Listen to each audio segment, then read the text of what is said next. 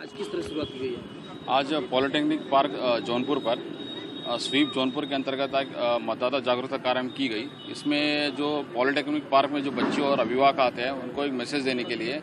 कि 12 मई को सारे काम छोड़ना है और पहले मतदान करना है। बच्चों को प्रेरित करने के लिए बच्चों को अवगत कराने के लिए 12 मई को अपनी अपने घर में जो भी है मम्मी पापा है उनकी भाई बहन है जो भी जिसका नाम सूची में है उनको बोलना है कि पापा पहले मामा, पहले अपना वोट दो, फिर दूसरा काम करो। यही नारे के साथ एक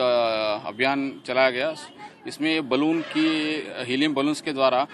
पब्लिक को जनपद वासियों को अवगत कराने के लिए हीलियम बलून्स छोड़ा गया, जिसके जिसके साथ एक संदेश लिखा हुआ था कि 12 मई को मतदान करना है, सारे काम छोड़ना है। हमारे नौजवान साथी बुज़ुर्गों, आने वाली 12 मई को आप सब भारी से भारी संख्या में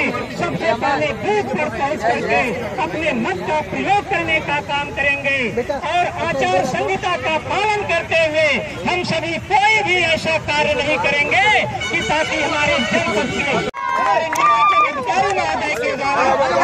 ये स्वच्छ पर्यावरण में वृक्षारोपण को ना करके है है है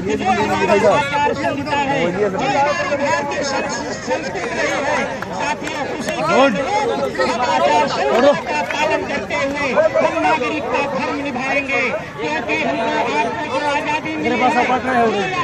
हमको आपको